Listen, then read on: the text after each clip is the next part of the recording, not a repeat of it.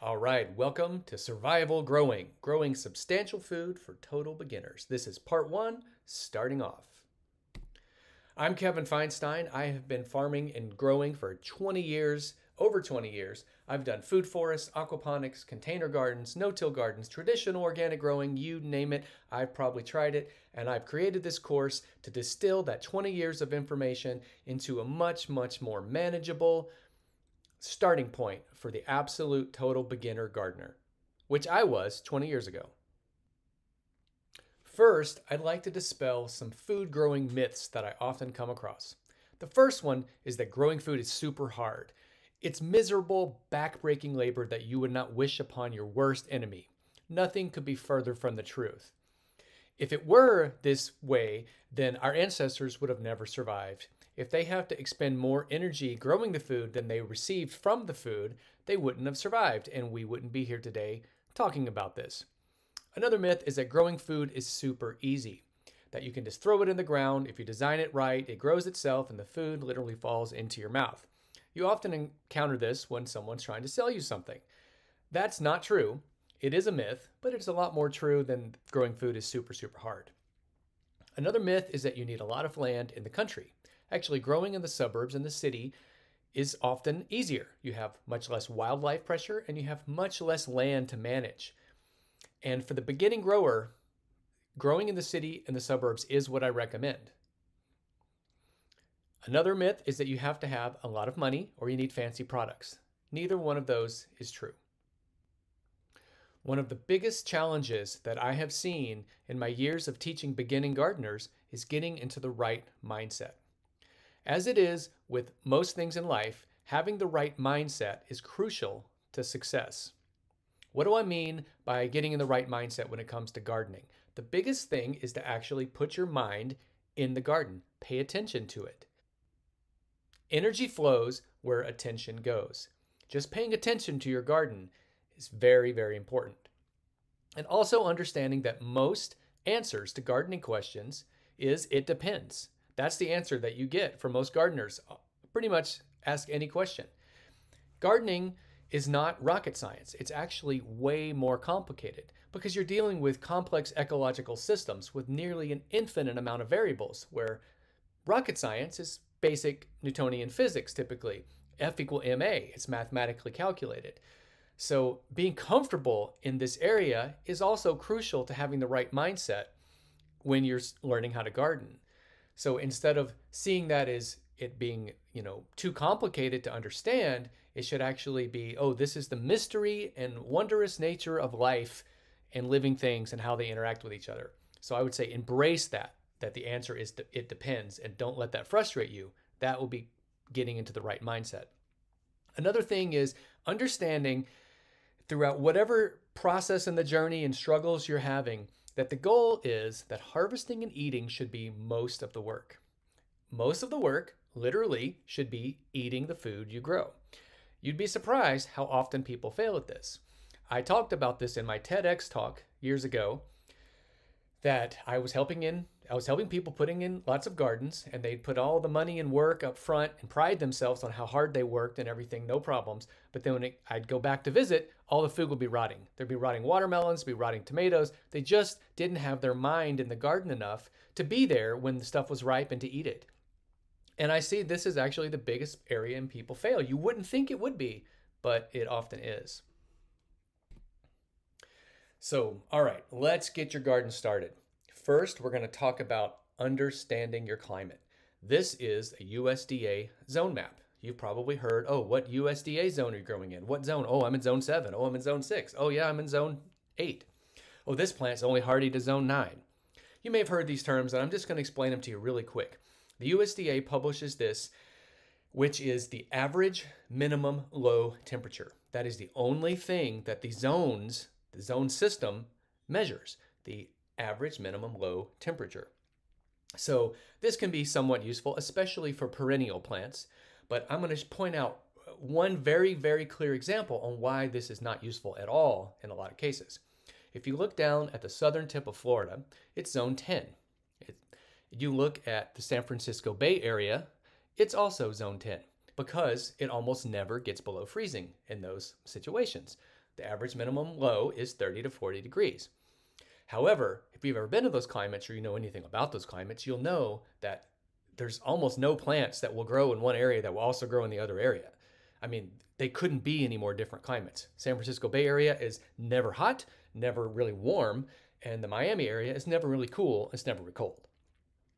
So, I mean, you're talking like coconuts down in southern Florida, but you know, you, you would be lucky to grow, you, you're going to grow like cool season crops all year long in the cool San Francisco Bay Area. So very, very different climates. Another place that this fails is high altitude. In high altitude, you, you may, if you look at parts of California, uh, you know, you may be in some high altitude areas and you're still in zone eight or even nine because it never gets super, super cold in those high altitude areas. However, your, well, we'll talk about this a little bit later, your frost dates are, you know, you have a very narrow growing season. So you may be getting frost up until June and you'll get them again in September. Your zone, you know, eight or nine, that's not like southern Texas or central Florida or southern Alabama at all. In any way, shape, or form, those climates are not at all the same. So this only measures one thing and it can be useful, but not that important, especially for what we're talking about here in the survival growing, which is mostly growing annual plants.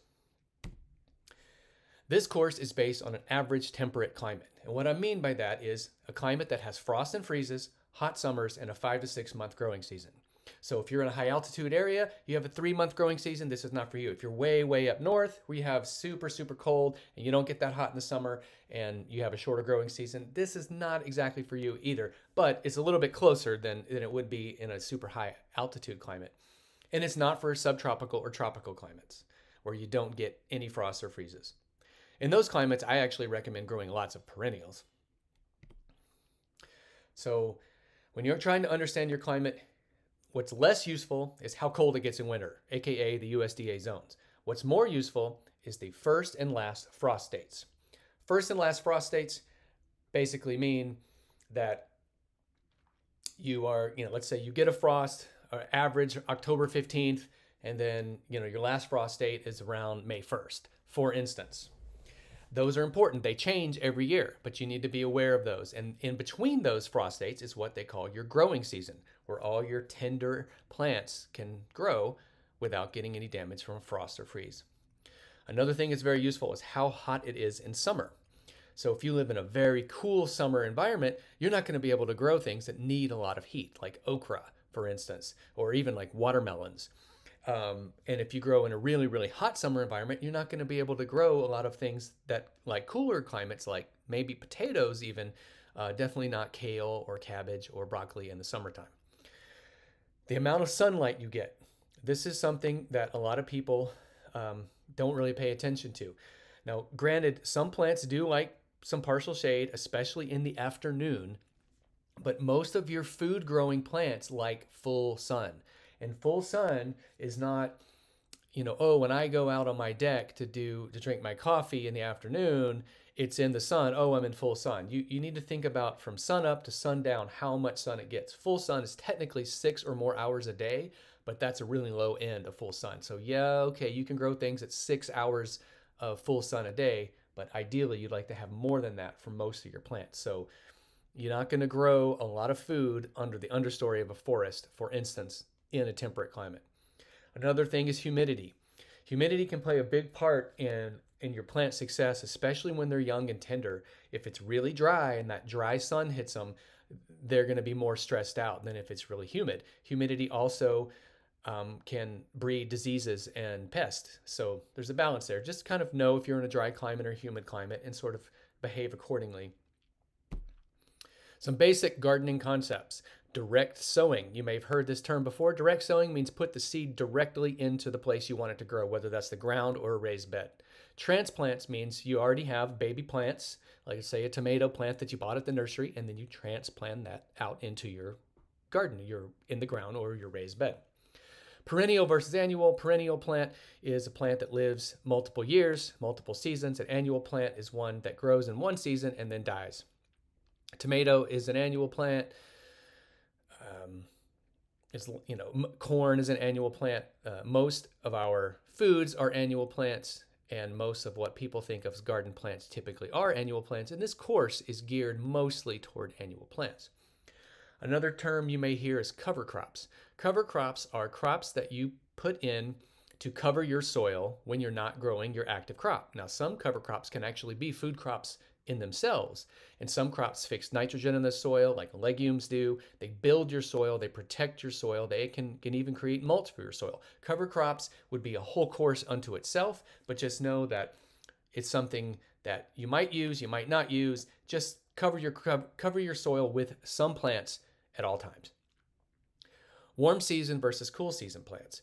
Surprisingly, I see this hang up a lot of people. Warm season plants are like tomatoes and corn and cucumbers and squash and peppers, most of the plants that the majority of people think of as like gardening plants.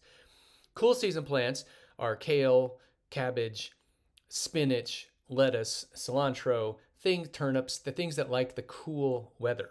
And they can actually take some frosts, even some light freezes these crops can take. Actually, cilantro, for instance, can take some pretty heavy freezes.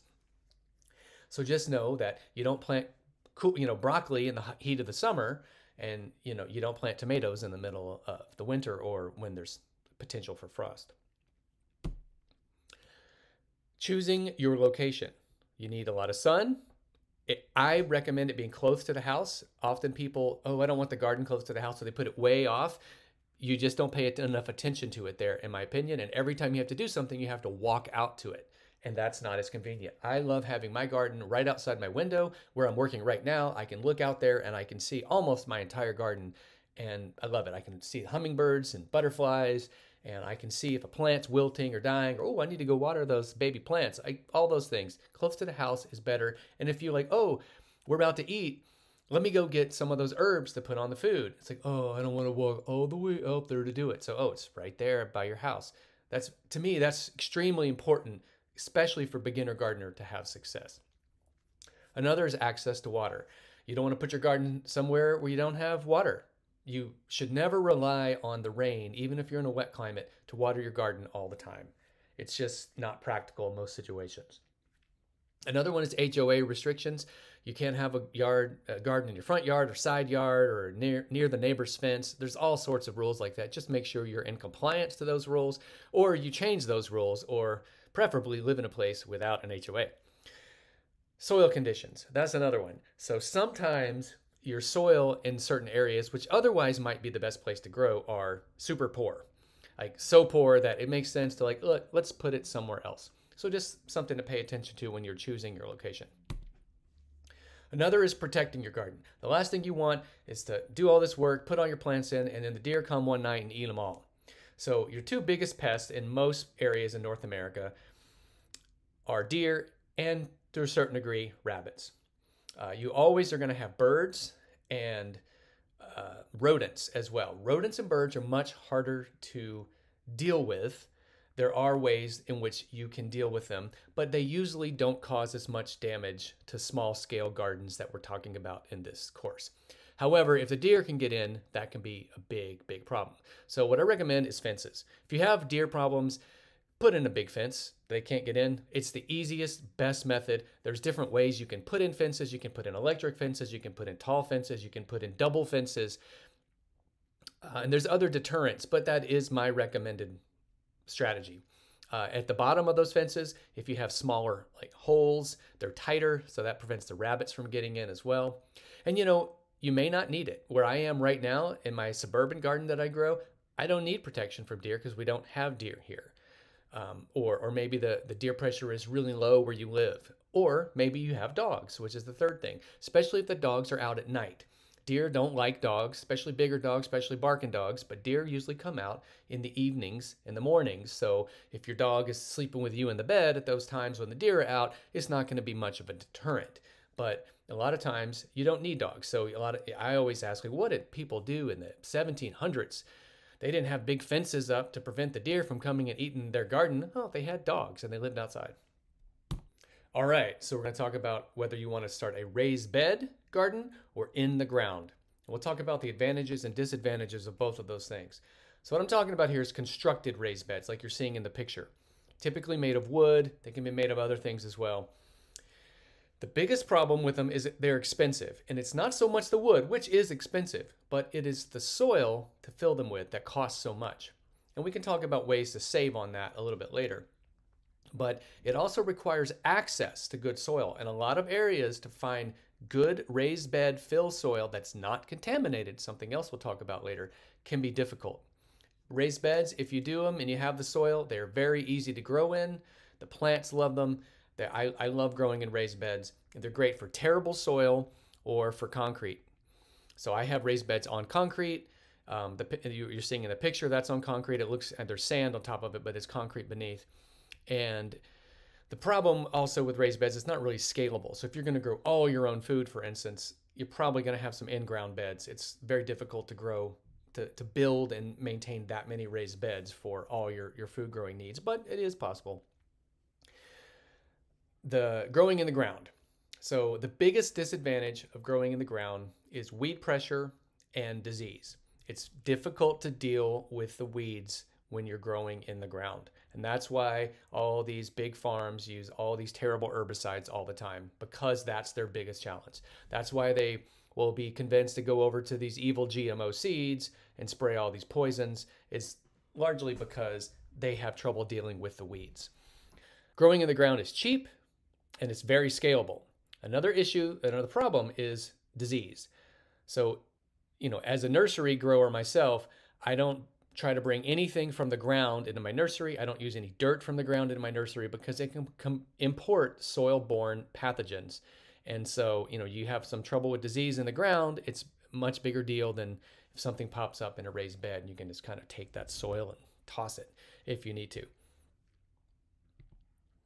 All right, let's talk about constructed raised beds really quick. Some simple things. They're, they're very straightforward. It's not, I don't need to give you the plans on how to build them. You just screw or nail some boards together to build a box, essentially, with no bottom on it. And you don't use pressure treated wood because that can leach toxins into your garden. Uh, you can use cedar or redwood or something like that. I personally just use regular old pine because they will break down over time anyway, and I don't mind replacing them. I don't care. I'll use the cheaper wood. But if you really want it to last a long time and, and look better over time, use cedar or redwood. Um, and if you are growing on the ground, let's say there's grass or, or whatever there, you want to put down a weed barrier. My favorite weed barrier to put down in this situation is cardboard. Put it on really thick, put it at the bottom so the weeds can't come up through there, especially the grass is what you want to uh, avoid coming up through there. And then you need to fill it with high quality soil. Like I mentioned before, that can be very expensive. So one way to save money on that, especially if your bed is deep enough, like the one seen in this picture, is that you can fill it with old wood, like old firewood, old logs, or something like that. And that will slowly decompose over time. This is sort of a modified hugelkultur, which is a permaculture technique. And it is a way to save money when you're filling especially deeper raised beds. Now, the problem with contamination is with persistent herbicides, and we'll talk a little bit more about that later but something you absolutely won't want to avoid. You and um, unfortunately, you don't want to just go to you know your big box store and buy whatever soil they have.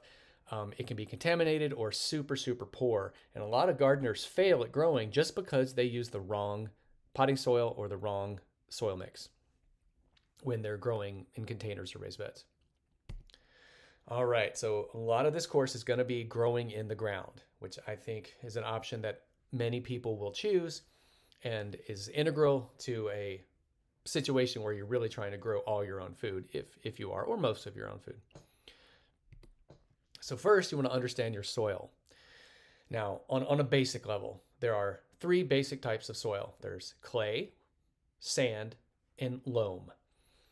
And clay is as if like it sounds, it's made of clay. You can tell if it's clay by the way it cracks, like in this picture here, or if it's wet, you can clump it together and it's like make little clay sculptures with it. And sand is pretty straightforward as well. And then loam is the ideal soil, which is full of organic matter and it's all fluffy and it's got good texture.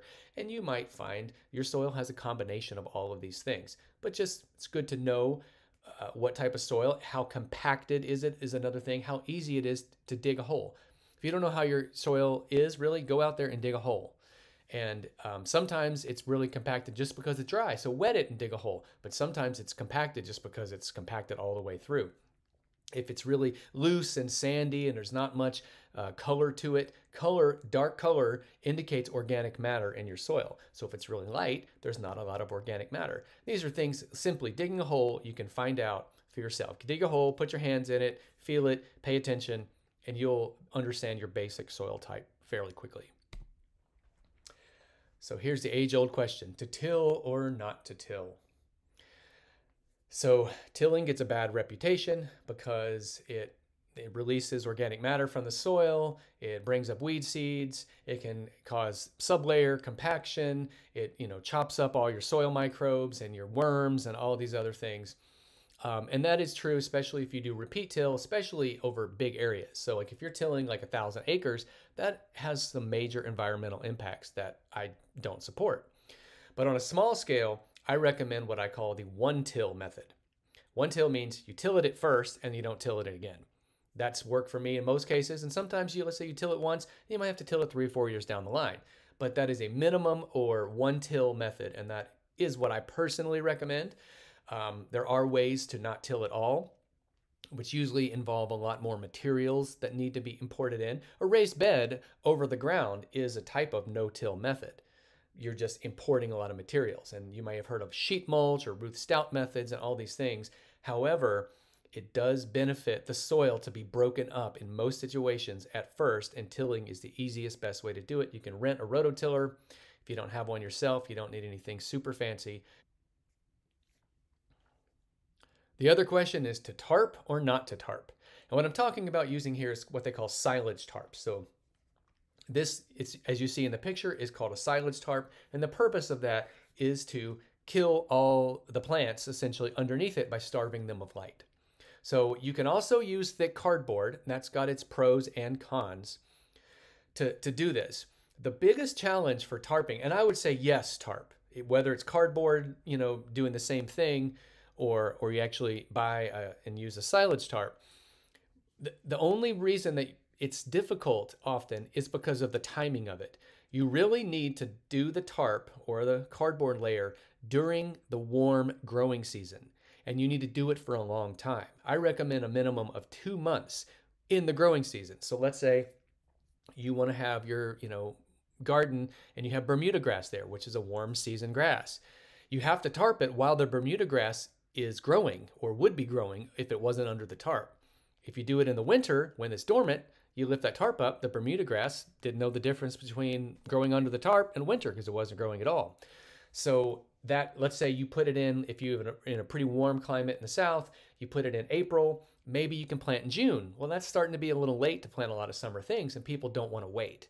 And uh, one of the best ways to do it, if you can, is start it in July and then you let it go until September and then you uncover it and then plant fall cover crops or your fall cool season garden. So the only reason to not tarp, in my opinion, or use cardboard, is that you need the garden right away. But just know that you are going to be battling weeds big time. All right, so what else do, do you need to get your garden growing? Organic fertilizers and amendments. So I like what's called the shotgun approach. And I recommend that for most people, but soil tests are also great. If you want to send your soil off to a lab and see what it's deficient in, especially if you think there's some major problems. I mean, if things just don't seem to grow well, you have some weird soil and some odd climate, it's probably good to get a soil test and see what your deficiencies are and then use organic amendments to try to balance those deficiencies better. Otherwise, you call what I use what I call the shotgun approach, which is you just throw a bunch of good stuff in there and let nature work it out. And some of that good stuff that I throw in there is a balanced organic granular fertilizer. When I say granular, I just mean it's not liquid. So um, there's a common brand that you can find in most parts of the country called Espoma. Um, you can get it Home Depot, Lowe's, and something like a Tomato-tone or Garden-tone, something that is balanced. So the NPK ratio, which is little bit beyond the scope of this class, but it's easy. It's, you know, there's numbers. There's three numbers. They need to be fairly balanced, and and that's good for most gardens to put in. And I usually only put them in once or twice a year uh, when I turn over the beds. Another thing is trace minerals. Trace minerals boost the immunity of your plant and boost the health of the food that it produces. So trace minerals are like azomite or kelp powder, uh, something like that. Um, that will be in the PDF, a whole list of all these things. Now, the other thing is your garden needs mulch on top of it. So let's say you have tilled, you have tarped, you lift up the tarp, all the weeds, you know, have grown and died, and now you need to plant. Well, you just have loose dirt there, whether it be sand or clay or whatever. That dirt, ideally, you should never see. You don't want to see your clay. You don't want to see your sand layer. Uh, if you have a nice loamy soil, then maybe that's another story, but most people don't. Uh, eventually, maybe you'll get it. So some types of mulch are wood chips, which is chopped up trees, um, not like tan bark for a playground. So that is just bark and that doesn't, it, it, ties up nitrogen. That's too woody. It's better to have just what they call wood chips, which is chopped up trees, which includes the leaves and everything else. There's pros and cons of wood chips. Another one is straw or hay. Straw or hay are one of the absolute best mulches for your garden. However, almost all hay that's available is contaminated with persistent herbicides. And this is a whole can of worms to open up, in which it will kill or stunt your plants for many, many years. It's horrible. It's absolutely a terrible nightmare for the homesteader or organic grower. So most of you won't have access to unsprayed hay. Unfortunately, this needs to change, but that is the reality in this case. Straw is different than hay because straw is just the stalks of, let's say, wheat. So you get wheat straw. Wheat straw sprayed with Roundup. Roundup is terrible. However, it has a short life as far as its ability to kill and stunt the growth of your plants. So if you have to use them, straw is better. It's better to let it sit for a while. But uh, it's, ideally, you want organic straw, which is also very hard to come by. My favorite mulch is compost, which is basically, you know, um, finely broken down compost. So you can plant right in it. So that compost on the right, you could actually put your seeds or your plants right down in that and, and things grow really well. So that's my favorite, but you also have to find uncontaminated compost. If that compost was made with manure from animals that ate the sprayed hay or um, from contaminated straw or anything like that, it's going to stunt and kill your plants. And a lot of organic growers have had their whole farms ruined because they imported bad compost. So that may be hard to come by, but that is the best fertilizer in my opinion. Another type of mulch is what they call a living mulch, which is plants. So you can see like clover, for instance, is a uh, something that is growing all the time. You can have your paths as a living mulch. You can even have a living mulch in your garden. Often I use just I let weeds grow, certain weeds, and then that is is a living mulch. Um, you know, or just grow your plants really thickly and make sure that there's you know you never see that clay or sand uh, layer if if you can help it. So, like I said, keep your soil covered either with plants actively growing or a mulch, and never walk in your beds. So basically, once you make your beds and your paths, you only walk in the path. You don't want to step in your bed to compact it. Very important. Irrigation. All right, there's, you know, three basic types of irrigation hand watering, drip irrigation, and sprinklers. Sprinklers are the one that I like the least, and that's what most people have for their lawns. Sprinklers waste a lot of water because it goes up in the air and it evaporates, especially in a drier climate, but also it tends to only water the surface layer, and that can create a lot of problems for plants. Uh, if it's dry, you know, a few inches down, and it's wet at the top, that can breed disease and weaken the plant. It's better to water deeply and thoroughly, which drip irrigation will do, and drip irrigation will also save you water.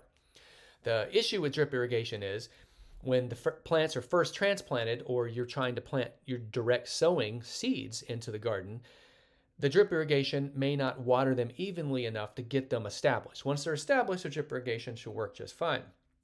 So in that case, you could use a combination of sprinklers and drip irrigation, but I prefer hand watering when you're just trying to get those things going on most scales. And when it comes to potted plants, hand watering is by far the best way. And uh, I know I have a little picture here, a little graphic, but when I say hand watering, I mean use a hose with a shower nozzle on it. Irrigation, how much water do you use? The question I get a lot, how much water does this plant need? Here's the deal you're not watering the plant, you're watering the soil. Put your finger in the soil, see how wet it is. If it's too dry, it needs water. If it's too wet, back off a little bit. So it the ideal consistency of your soil, the moisture level should feel like a well wrung out sponge. I prefer, you know, if you're going to err on one side or the other because it's hard to get it perfect, I'd rather have it a little bit too wet than a little bit too dry for most plants. But well wrung out sponge, put that finger in the soil, and then you can tell how much water.